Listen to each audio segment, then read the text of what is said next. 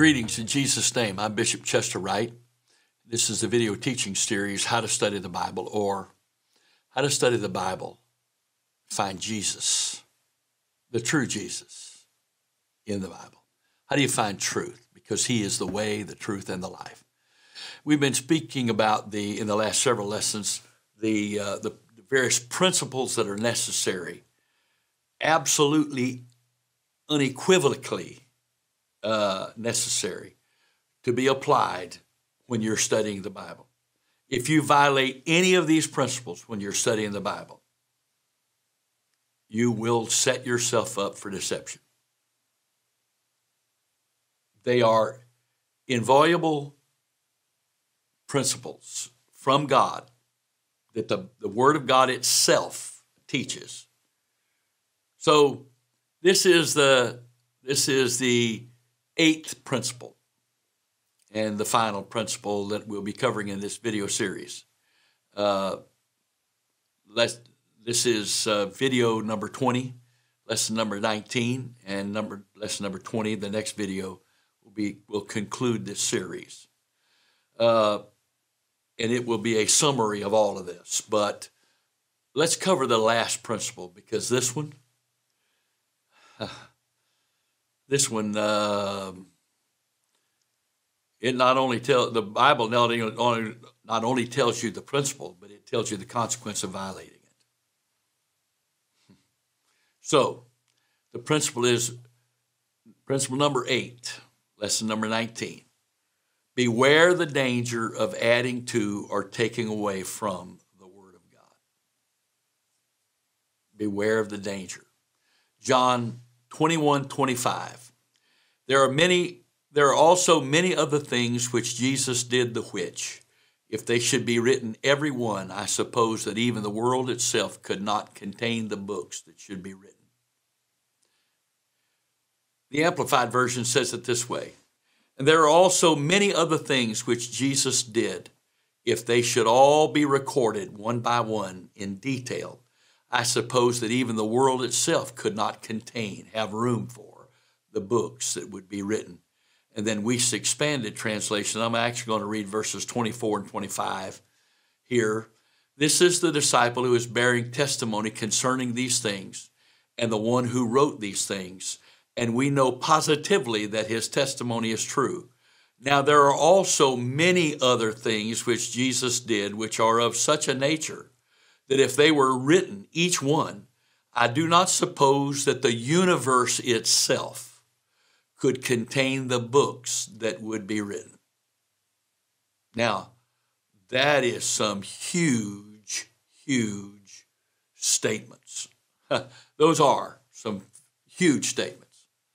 That's one of my favorite verses in all of the Bible because it expands my thinking and lets me know that the Bible I hold in my hands is not limited to what I hold in my hands, but that God has condensed all of this that could be known about Him down to this manageable book, even though I cannot possibly ever become an expert on that book.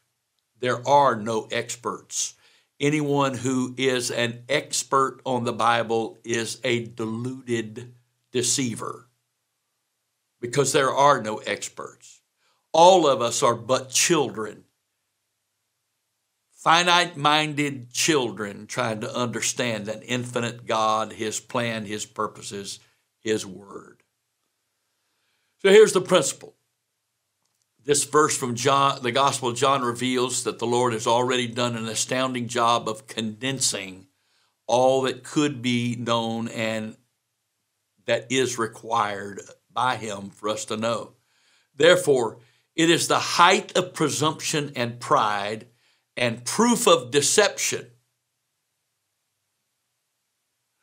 to either add to or take away from the word that we do not ha- that we do have in our possession from God. What we have God gave. No more, no less. What we have is what God requires of us. To add to it is presumption. To take away from it is foolishness. Because if, according to John 21 25, if everything Jesus did and said was written about in detail, the, the world itself could not contain the books. And I, I like to think of it this way if the gravitational force of the earth was the ceiling of the library, and the ground of planet Earth was the floor of that library, this library could not contain all of the books that would have to be written in order to record everything Jesus did and said. You say, well, he was only here 33 years. Say, ah, there we go. There we go. Because Jesus is the Word made flesh. And you can't record logos in books. There's too much of it because it is the Word of the infinite God, it's the mind of the infinite God. So, therefore, when I add to or take away from the Word, I'm adding to or taking away from God because the Word in the beginning was the Word, and the Word was with God, and the Word was God and is God to us today. Not the book itself. The book's not God. The Word is God.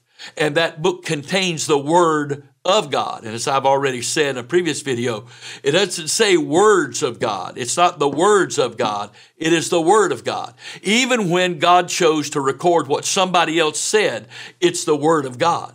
He wanted us to know those things. Even when he records things that people did that were wrong, that's a part of the Word of God. All of this is evidentiary to us in making our decisions of what we're going to be persuaded to believe and not believe. And to have the evidence to make the right choices because choices have consequences.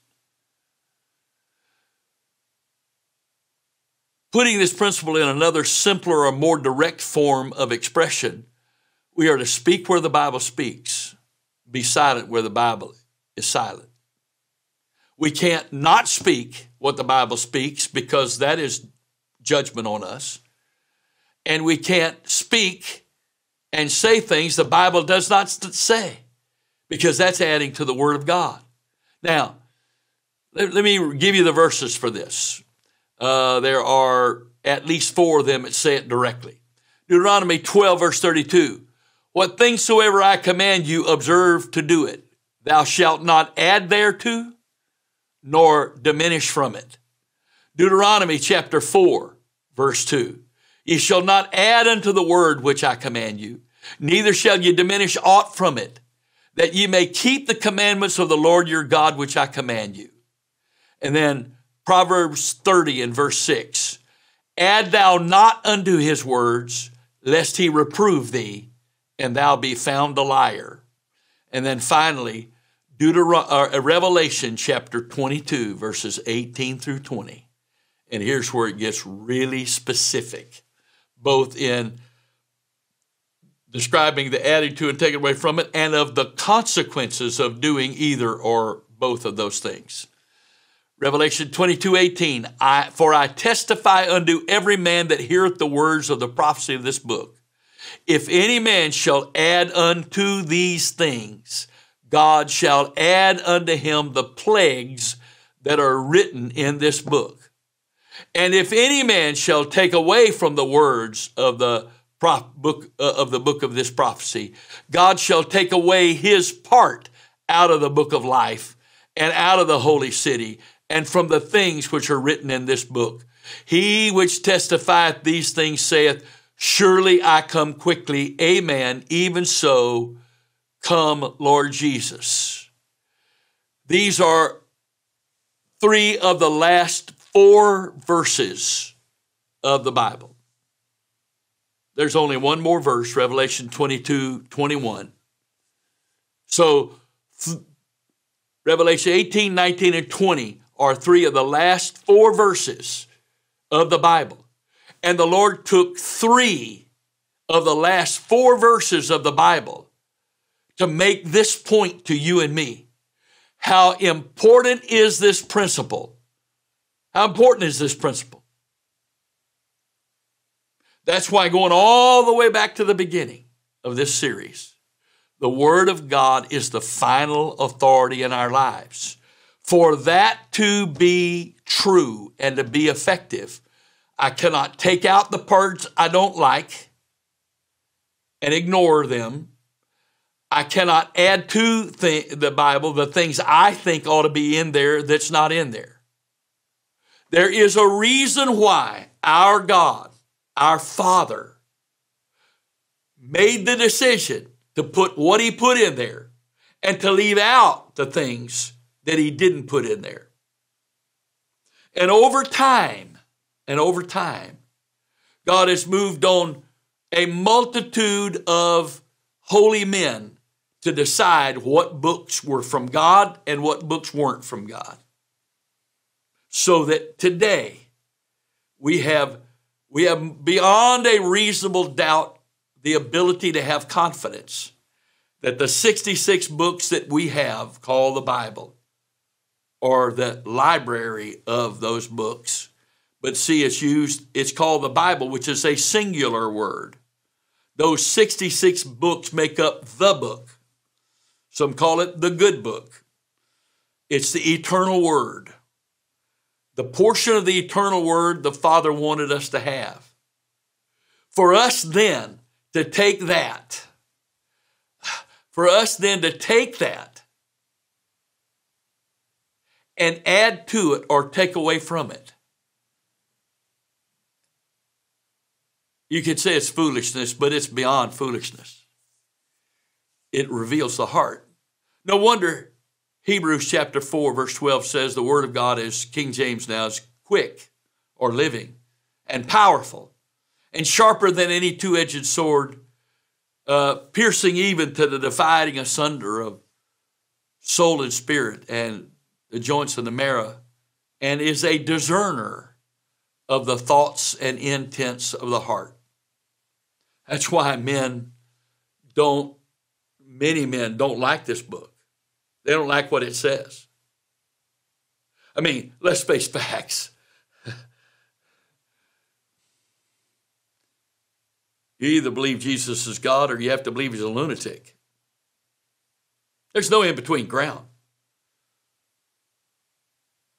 He that believeth on me shall not die, but shall live forever. He that believeth on me, as the scripture hath said, out of his belly shall flow, flow river, rivers of living water. John 12, he that rejecteth me, that is, receiveth not my words, hath one that judgeth him. The words that I have spoken will judge him in that day. This man is saying the things I've said to you and I'm saying to you are going to be the criteria against which you're going to be judged in the final judgment. That's some strong statements. The Jews had their problem with it. John 10 30, I and my Father are one. That's not even good grammar, is it? I mean, shouldn't he have said, My Father and I are one? Don't you put the other person first, yourself last, grammatically? No, no. He said, I and my Father are one because he was trying to demonstrate that he was not just equal to God, he was God. He is God. He's God.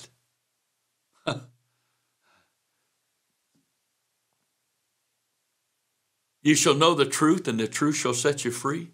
Whoever continues in my word, going to be free. I mean, these statements are not just harmless little statements. They're either true or they're not just false, but they're the ravings of a lunatic. The whole Bible is like that. and the prophecy in these books. I mean, can you imagine the prophecy? I believe it was Micah that prophesied there'd be a day when men would run to and fro speaks about the torches on their chariots as they jostle one against another. Or the prophecy that there would be a day, there would be a battle, that the, the flesh would instantaneously melt off the, the skeletons of people and that their eyes would melt in their sockets. That's far out stuff, except if you study the effects of being the victim of a nuclear blast and find the places in Hiroshima and Nagasaki where there's nothing but a shadow of a person laying on the uh, concrete where there was nothing left but a shadow, just gone in an instant. You could go on and on and on and on here. Or how about this? They were all filled with the Holy Ghost and began to speak with other tongues as the Spirit gave them utterance. And the Greek Greek word there is not a the word speaking of ex, unintelligible ecstatic utterances. In fact, it's exactly the opposite. It's a Greek word. The Spirit gives them utterance. That word is to speak at the highest level of erudition, grammatically, and in enunciation. People are going to speak in languages that they don't know, and they're going to speak it at the highest level, grammatically and in pronunciation. I mean, really, the book is full of this stuff. It's not just believing that Moses held his hand up with a, a stick in, in it out over the Red Sea and it, over the night, it parted, and that a couple of million people at least walked across the Red Sea on dry ground. And when they got to the other side, he gave the signal and the waters crashed back down upon the, the Egyptian army. That's pretty far out. Or how about the Jews getting up every morning in the wilderness and going out and collecting baskets full of this seed that uh, was called manna. And just like they would with grains of wheat, they would go back to their tents and grind it into flour and make bread out of it. And that's how they ate for 40 years. Can you imagine the nutritional value that that manna had, that they could live off that as their main source of food for 40 years and not be victims of malnutrition? I mean, and that happened every day for 40 years in the wilderness because they were transients and could not plow and grow a crop in the wilderness they could eat from. Really? I'm either going to believe this book or I'm not going to believe it. Those things are either true or they're not true. There's no middle ground. They're not nice stories. They're either true or they're not true. They're either facts or they're not facts. There was either an ark built in a flood or there wasn't one.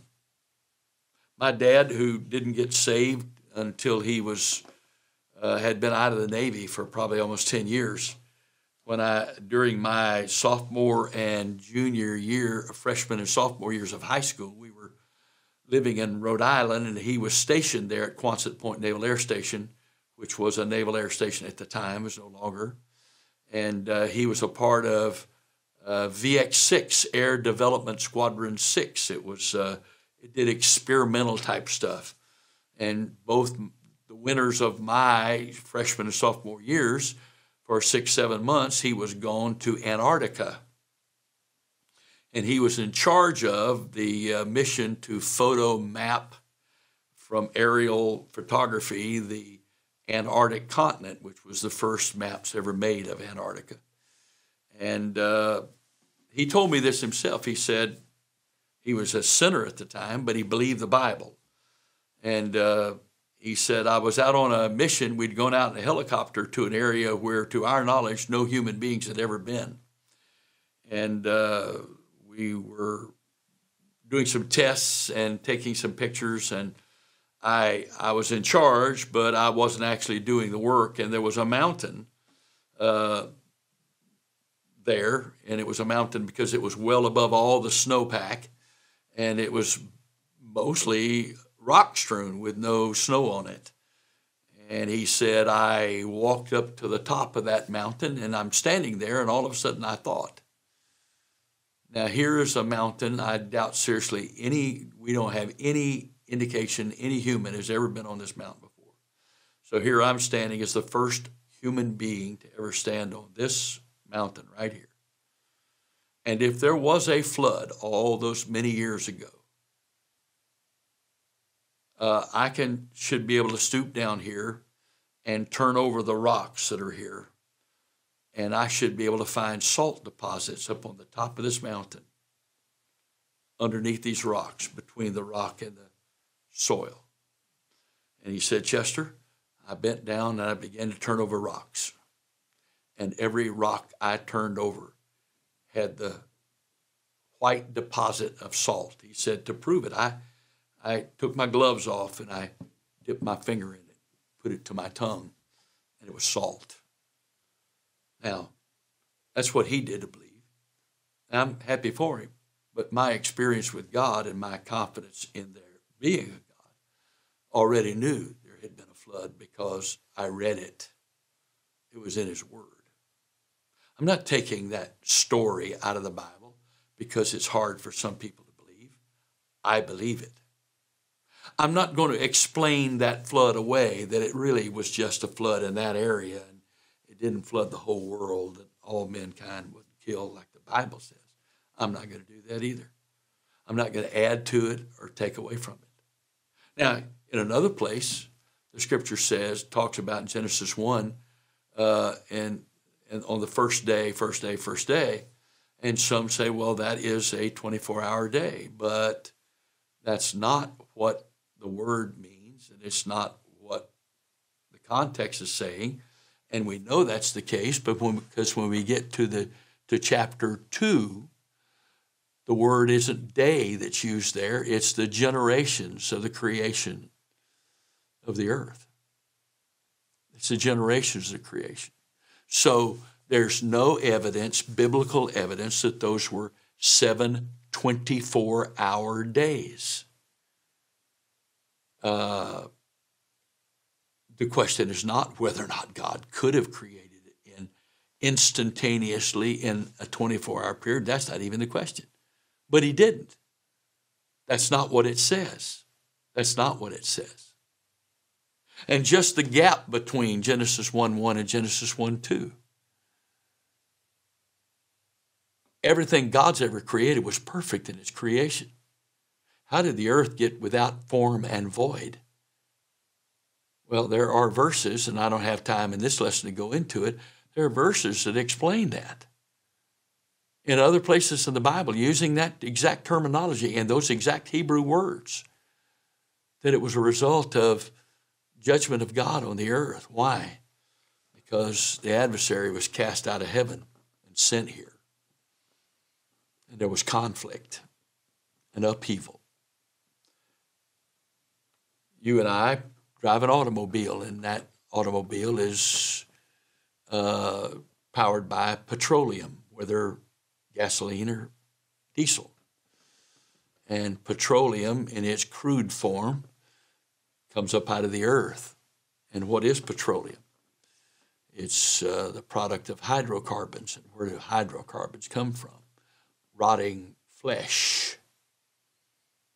And where did all those billions and billions of gallons of rotted flesh come from? Well, apparently, when the earth was created, there were animals on the earth. Animals unlike anything that we've had on the earth since man was formed. And apparently, in that upheaval that took place between Genesis 1 and 1 and 1 and 2, uh, those huge animals with all their flesh and there had to have been multitudes of them, countless numbers of them from our perspective, that got buried up, either alive or dead in all of that upheaval on the earth. And these became the oil reserves and the natural gas reserves uh, that we utilize today. You say, well, the Bible doesn't say that. No, it doesn't. But there is enough stuff in the scripture that leaves that open as an explanation and not a contradiction of the Word of God. So I'm not adding to the word. I'm saying it appears as though this is the case. But I hadn't made a doctrine out of that. Not going to make a doctrine out of that. I can't. Because there are some things he tells us and some things he didn't tell us. So it is a very dangerous thing. It's a very dangerous thing in applying the scripture today to take the our application of the scripture in our daily lives. I mean, for instance, you know, you can abuse social media until it becomes a sin to you. But if I say XYZ is a sin to you, I've just added to the word. It's a sin to me if I'm abusing it. The Spirit of God convicts me. But I can't add to the word. Neither can I take things away from the word. Because if I come up with doctrines that are not based, they're based on what I've left out of the word or what I've added to the word, then I'm preaching a lie. I'm, I'm deceived and I've become a deceiver.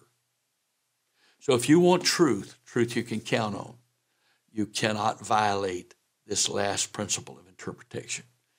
In Jesus' name, I pray that the reverence and the fear of God would come upon us by the grace of God, that we would carefully examine ourselves to, to make sure that we have not added to the word or taken away from the word. In the name of the Lord Jesus Christ, let it be so. God bless you.